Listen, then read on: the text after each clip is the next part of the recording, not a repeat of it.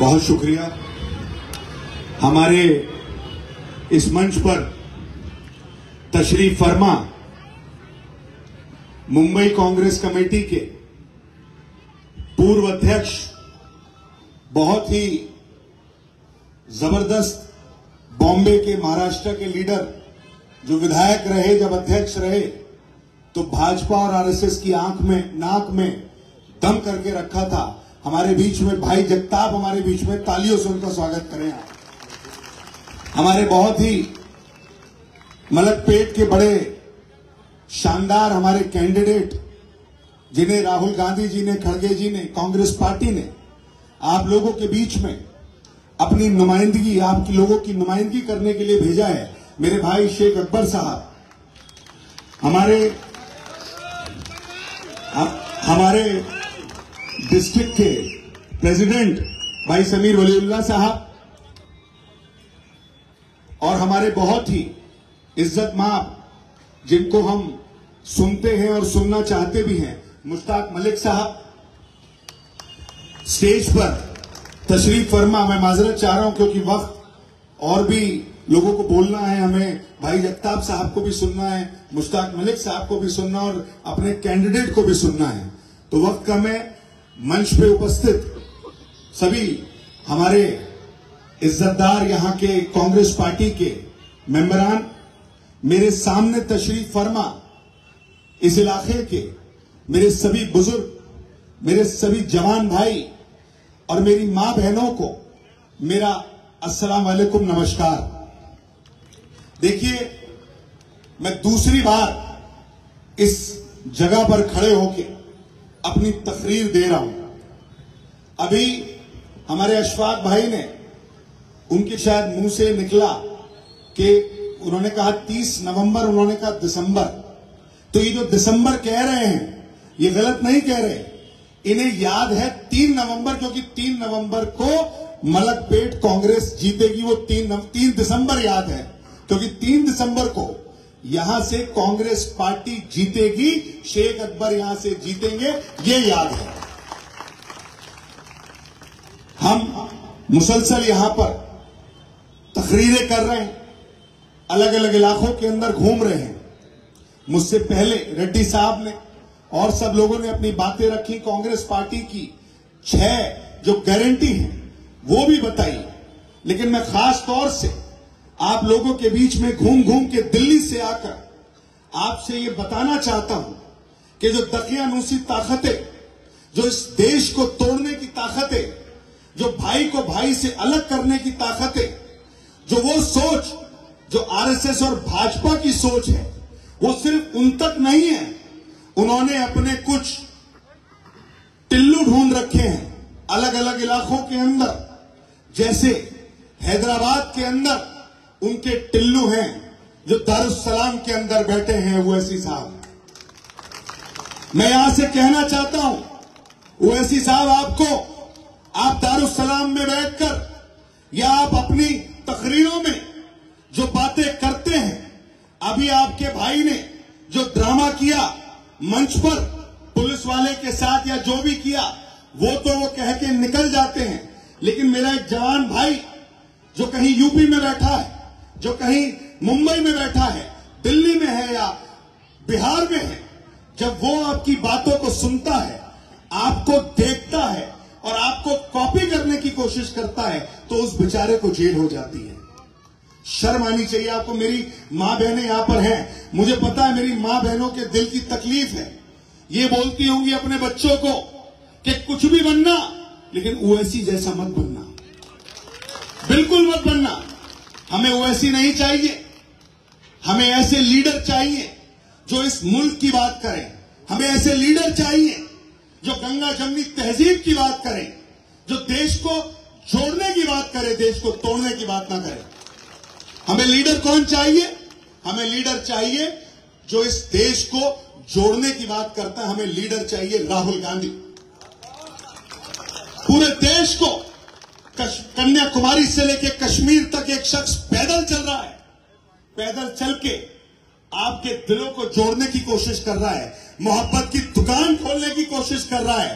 वो ये चाहते हैं कि इस देश के अंदर, इस मुल्क के अंदर जो नफरत फैली है, जो नफरत को बढ़ावा दिया गया है, वो नफरत खत्म करे। वहाँ राहुल गांधी इस लड़ाई को लड़ रहे हैं और जो इस मंच पर और यहाँ पर राहुल गांधी को जो मानते हैं राहुल गांधी के पीछे चलते हैं, हम लोग, हम भी वही लड़ाई राहुल गांधी की तरह लड़ेंगे क्योंकि हमारा नेता कहता है कि कुछ भी करो, पर डरो मत। डरो मत। हम नहीं डरते किसी से। हम हक की लड़ाई लड़ने से नहीं डरते। हम हक को बोलने से नहीं डरते। जो हमारे हकूक हैं, जो हमारे लोगों के हकूक हैं, उनको बोलने से नहीं डरते। चाहे हम पे भले ही केस हो जाए, लेकिन कभी कभी बुरा मत मानिएगा। मैं आपका अपना होकर ये बात बोल रहा हूँ। दिल्ली में भी ऐसे ही हुआ था। क्योंकि मैं दिल्ली से आता हूँ, मैं वहाँ इलेक्शन लड़ता हूँ। मेरी विधानसभा है मुस्तफाबाद, जहाँ पे दिल्ली में दंगा हुआ था। मैं आपसे बड़ी ज़िम्मेदारी के साथ कहना चाहता हूँ। आपको याद है ना सी एनआरसी याद है मेरी बहनों आपको? याद है? सी एनआरसी में क्या हुआ था? इंडिया गेट की तड़कती हुई ठंड में राहुल गांधी, सोनिया गांधी, प्रियंका गांधी और उनके दोनों बच्चे वहाँ पर मेरे और आपके हकूक की लड़ाई लड़ने के लिए बैठे थे। किसके लिए लड़ रहे थे वो? मेरे और आपके लिए। लेकिन दिल्ली में हमसे क्या गलती हुई? हमने वहाँ भी एक ऐसे शख्स को बिठा दिया जिसको आरएसएस चाहती थी कि यहाँ ये कांग्रेस को हरा के बैठे और आरएसएस का काम करे। जैसे उसने वहाँ काम किया, मैं क्यों कह रहा हूँ? मैं गलत बात नहीं करता। मैं उसके, उसको आप ज़िम्मेदारी के साथ कह रहा हूँ। अरविंद केजरीवाल को वहाँ जिताया तो उसके बाद फिर तबलीगी जमात के साथ क्या हुआ? आपको पता है, किस तरीके से तबलीगी जमात को बदनाम किया गया? किस तरीके से मरकज को बदनाम किया गया? तब भी कांग्रेस खड़ी रही। आपका ये भाई खड़ा रहा, मैंने यहाँ फिर कहा था, हम पे केस लगे, लेकिन हम डरे नहीं और फिर मरकज खुला। आप सबकी हमारी दुआओं की वजह से। मैं सिर्फ़ आपसे ये कहना चाहता हूँ कि हमें बाशूर होकर, दिमाग को खोलकर, दिमाग की रोशनी में हमें फैसला लेना है।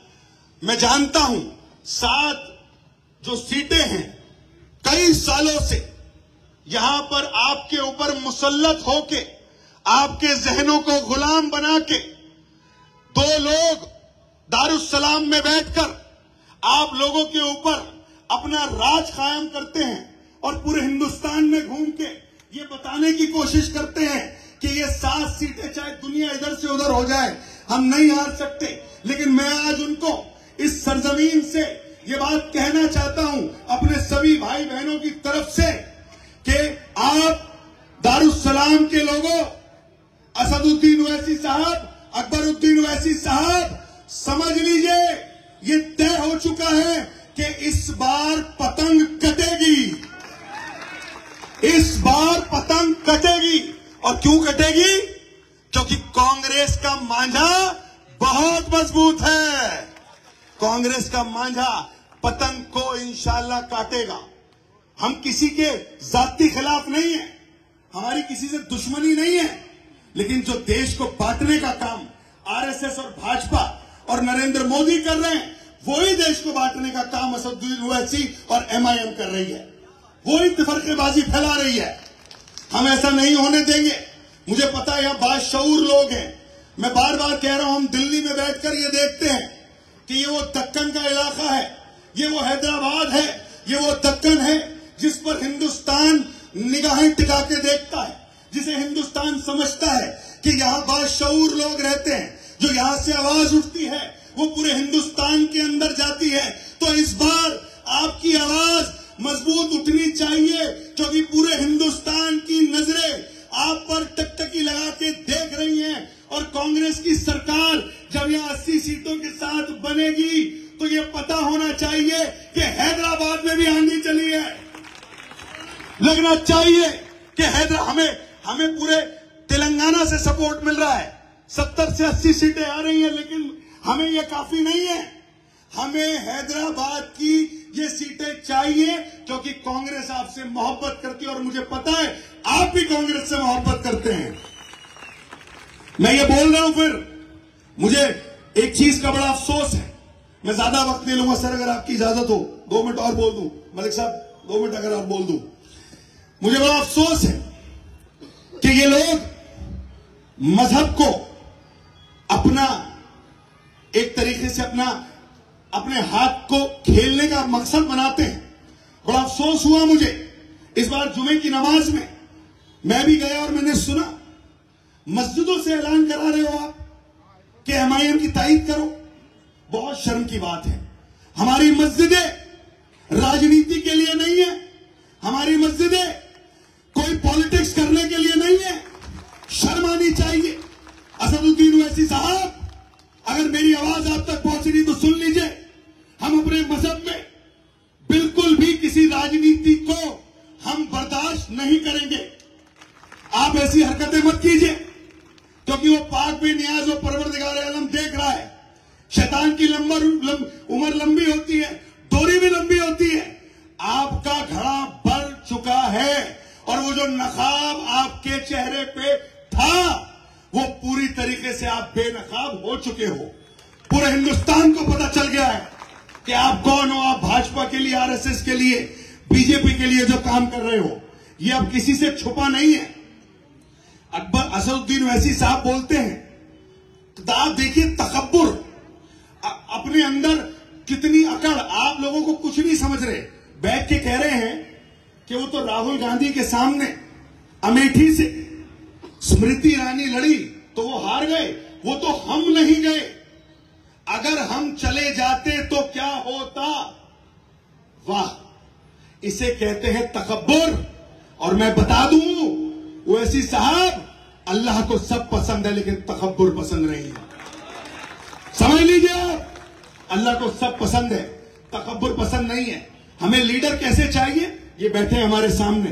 भाई जगताप, बंबई के अंदर अपनी आवाज़ को बुलंद करके लड़ते हैं हिंदू मुसलमान सबके लिए, हर चीज़ में हाजिर रहते हैं।